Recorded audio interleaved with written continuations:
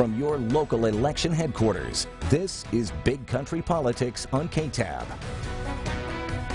All right, welcome back to Big Country Politics. We are joined by Dr. Paul Fabrizio with McMurry University, political science professor. Thank you for being here once again. It's good to be here. Well, good, good, because we have a lot to talk about as far as catching up. I was just telling you uh, when you walked in the studio here that we have been covering weather so much. I yes. mean, we've had so much rain.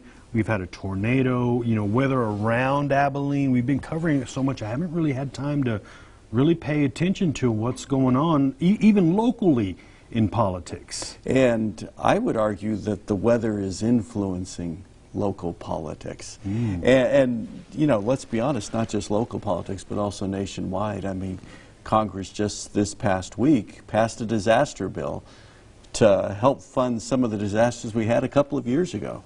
So clearly, weather is something that influences politics. You're right, because the, the latest thing right now, our county commissioners are dealing with um, lots of standing water out in Potosi.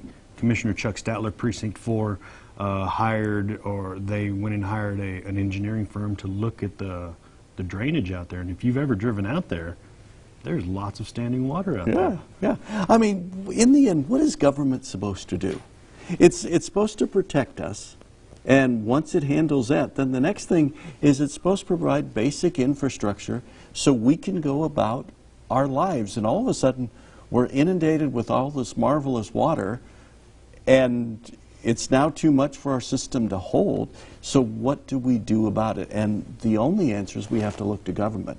And government has to step up, and that's what they're doing. But where do they get the money? What kind of resources do they use? Those are all going to be political questions that have to be answered. Well, and you know, the city of Abilene is still dealing with the, uh, the big hailstorm this time last year in 2014 where, you know, the, the, the big softball, baseball yeah. size hail destroyed everything. And the city of Abilene still has you know, dozens of buildings out there that they're still working on and trying to get money from insurance to fix those things. Yeah. So it's not like these can be fixed quickly. Mm -hmm. The lesson there is it's going to take time. And then you think about the tornado that we had. Man. And uh, a couple hundred homes that were damaged, and many of them no home insurance. What is the city's responsibility here to its citizens? What do we have to do? I drove through the area this past weekend, and there were city officials working, cleaning up some of the stuff that only they can do. But what's the next step? How much responsibility do they have to help people rebuild? Well, yeah, it, you, you, say that, and, and, and you know, they, they had a big part in helping clean up because when we were out there covering this stuff, there were lots of volunteers at these damaged homes putting all the debris out on the curb, and then the city would come by and, and pick up that debris all day long. Um, so they so they helped in the cleanup, and now, like you said, you know, what, what's their responsibility in, in the recovery? Yeah, I mean, do we turn to our local officials? Are they the best ones to do that? You know, when we look at disasters on TV, we think about, well, FEMA would be involved. But this one, despite its devastating effect here, it's too small for FEMA. Yeah, FEMA's so, not involved. Yeah, so we're not getting federal help, we're not going to get state help. It's going to be local resources, but that means from us, the taxpayers. And so, what kind of help do we want to give?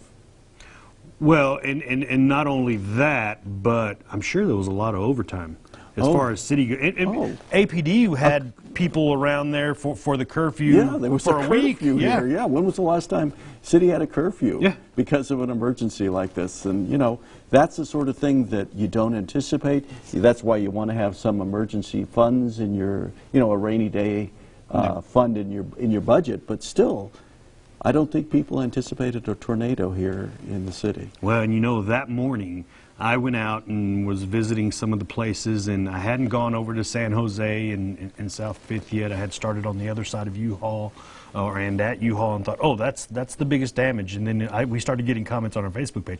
Go over to San Jose, and I went over there. Oh my! I, I couldn't believe yeah. it. I mean, I had just never seen anything in Abilene like that. Yeah, the closest I could think of was the flooding that we had years ago. Years but, ago. But that was a slow motion disaster. This was just quick. And then, you know, it raises other questions. What is the city's responsibility for notifying people? You know, there's that code red, sending out a message, my phone rang. Um, so did mine. Yeah, so at least I had some warning. But what about those people who didn't sign up for that? Should we go back to sirens, which apparently were notoriously ineffective Eh, back in the old days? I mean, what's the best way to do this thing? Well, and you say that a lot of the people that live in the area, the affected area, say they heard the Dyess, the Dyess sirens before they got that phone call from Code Red. And, and that's what a lot of people were, were, were telling us. And so we did the story. We sent a reporter out and said, you know, why Code Red instead of instead of sirens? Yeah. And and you know, I, I think the deal is that uh, somebody has said that the this the Code Red is a little more effective, and the sirens are are maybe too expensive to, to buy and maintain. Possibly, possibly. But then again, it requires the citizens to actually sign up for that, The Code Red. the code red. Mm-hmm. So, I mean, there, there's these things that you really don't think about except in a theoretical way until the disaster happens. happens. And it's like, oh, did we do this correctly? Are we doing it correctly? What's the best way to handle this in the future? And, you know, I always, I've, I've been living here in the city for more than 20 years, and it never occurred to me that there would be a tornado in the city. I'd always been assured, oh, they go around us. They're the south of us, the north of us. They never happen in the city of Abilene. And then a couple of weeks ago, it Until a couple of weeks ago, they, they did go around us. Yeah, and it's like, oh no. And look at this. We've spent all our first segment talking about uh, disaster and disaster relief. And uh, so when we get back on Big Country Politics, we're going to get into politics, and which we already have Yeah, because of the weather, like you mentioned. Exactly. We'll be right back.